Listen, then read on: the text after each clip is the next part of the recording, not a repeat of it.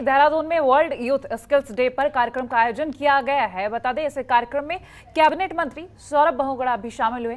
कार्यक्रम का मुख्य उद्देश्य युवाओं को कौशल के प्रति जागरूक करना है, ताकि युवा अपने आप में कौशल परख सके। और इस कार्यक्रम के ज़रिए युवाओं को प्रशिक्षण के साथ साथ अन्य कोर्स में भी प्रशिक्षित करना है।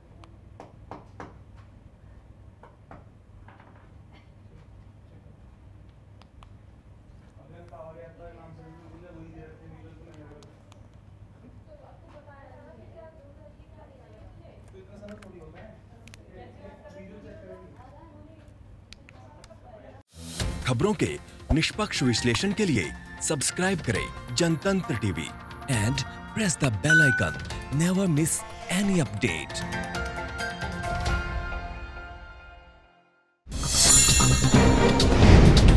download कीजिए जनतंत्र टीवी ऐप को, जो कि अवेलेबल है गूगल प्ले और ऐप स्टोर पर।